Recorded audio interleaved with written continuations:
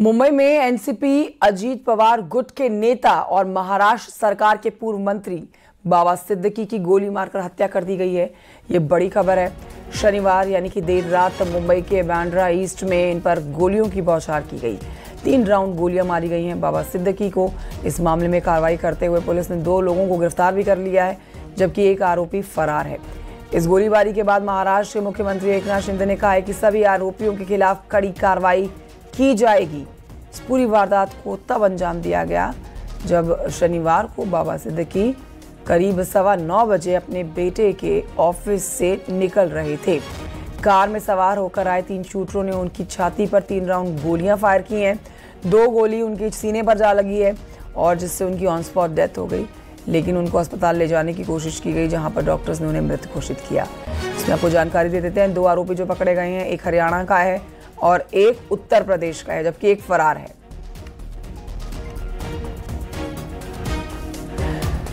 तो बाबा सिद्दीकी की हत्या के बाद सियासी हलकों में भी समय खलबली मची हुई है। चौतरफा निंदा की जा रही है इस हत्याकांड की। असदुद्दीन ओवैसी ने मुंबई में महाराष्ट्र में सुरक्षा व्यवस्था को लेकर सवाल खड़े किए हैं। लेकिन जो तस्वीरें आप देख रहे हैं, ये वही आरोपी हैं जिन्होंने हत्या के मकसद से ही गोलियों की बौछार की थी, क्योंकि बहुत ही नज़दीक से बाबा सिद्दीकी के सीने के ऊपर गोलियाँ मारी गई हैं। तीन राउंड गोली लगी, जिनमें दो राउंड गोली उनके सीने में ही लगी है, जबकि एक राउंड गोली हवा में चली है, लेकिन ऑन स्पॉट बाबा सिद्दीकी की मौत हो गई है। पूरे मुंबई में इस समय हलचल मच रखी है। एक्स मिनिस्टर बाबा सिद्दीकी इन पर जानलेवा हमला हुआ था। दुर्भाग्य से उनमें उनकी मृत्यु हुई है, ऐसी खबर है। और ये बहुत ही दुर्भाग्यपूर्ण घटना है, दुखद घटना है। और इसमें दो आरोपी अरेस्ट है। ऐसा पुलिस कमिश्नर भंसालकर जी ने मुझे कहा है। और एक आरोपी फरार है। ये दोनों एक हरियाणा और उत्तर प्रदेश का है। तीसरा आरोपी की जो फरार है उसको पकड़ने के लिए पूरी पुलिस की टीम क्राइम ब्रांच काम कर रही है और उसको जल्दी पकड़ा जाएगा और ये तीनों के ऊपर कड़ी कार्रवाई हो जाएगी। एनसीपी के वरिष्ठ नेता बाबा सिद्दीकी इनको लीलावती हॉस्पिटल में लाया गया था। फायरिंग होने के बाद तुरंत उनको यहाँ पे लाया गया और अभी हम देख रहे हैं कि लीलावती हॉस्पिटल में कई सारे उनके जो चाहने वाले हैं वो आ चुके हैं। तीन राउंड जो है वो निर्मल नगर इलाके में फायरिंग हुआ था, ऐसा सामने आ रहा था। इस पूरी घटना को लेके पुलिस प्रशासन को सीएम ने ये आदेश दिए हैं कि तुरंत आप कार्रवाई करें सख्त से सख्त कार्रवाई इस मामले में होनी चाहिए। लेकिन यहाँ पे कई सारे लोग आए हैं। अंदर अगर अस्पताल में अगर हम देखें तो देवेंद्र फडणवीस जो गृह मंत्री है, वो आए हुए हैं। उन्हीं के साथ आशीष शेलार जो बांद्रा के सांसद है, वो भी यहाँ पे आए हुए हैं। लगभग इस पूरी घटना के बाद कांग्रेस के नसीम खान भी यहाँ पे आए और उन्होंने एक बात यहाँ पे स्पष्ट रूप में कही कि कहीं तो जो गवर्नमेंट है, वो सुरक्षा देने में नाकामयाब रही। उनको धमकियों भी धमकियाँ भी कुछ दिनों पहले आई थी, लेकिन उस बारे में भी पूरी सीरियसली उसके ऊपर एक्शन नहीं लिया गया। और इसी बीच में अगर हम देखें तो आज जब ये फायरिंग हुई उसके बाद तुरंत लीलावती हॉस्पिटल में लाने के बाद भी ये उनकी जो जर्नी रही वो अनसक्सेसफुल रही। उनका मौत इस घटना के बाद हुई है और इस फायरिंग के कारण लगभग आने वाले इलेक्शन में भी उसके बहुत बड़ा इम्पैक्ट हमें आने वाले समय में दिखाई दे सकता है। वीडियो जर्नलिस्ट अविनाश के साथ सुस्मिता बताने वाली न्यूज़ तो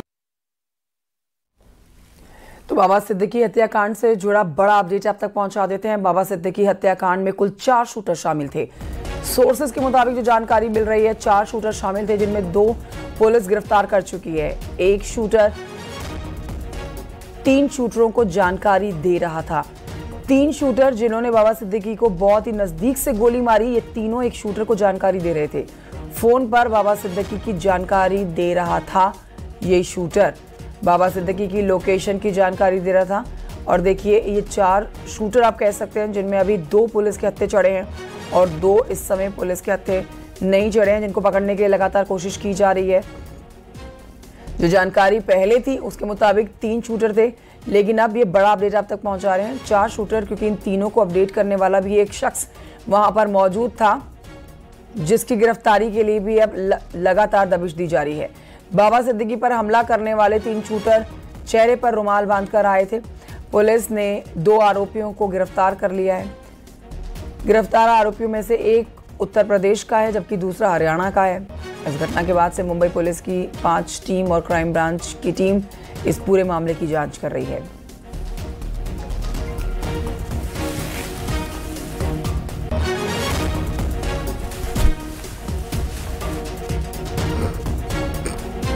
बाबा सिद्दीकी, जो कि कभी कांग्रेस के कद्दावर नेता हुआ करते थे, अभी कुछ समय पहले ही इन्होंने एनसीपी ज्वाइन की है।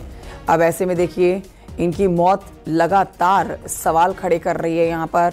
विरोधियों के निशाने पर महाराष्ट्र की सरकार आ रखी है सुरक्षा व्यवस्था को लेकर। ये आपके सामने इस समय चार तस्वीरें हम दिखा रहे हैं। बाबा सिद्दीकी को जिस जगह पर गोली लगी है, वो जगह आप देख सकते हैं। तीन से चार राउंड बताई जा रही है, फायरिंग उनके ऊपर ही की गई है। दो आरोपी गिरफ़्तार हो चुके हैं। जाँच टीमें बनाई गई हैं, जो इस पूरे मामले की जाँच पड़ताल में जुट चुकी हैं। ये तीन संदिग्ध आरोपी भी आप देख सकते हैं इन तस्वीरों में, जिनमें से दो पुलिस के हाथे चढ़ चुके हैं।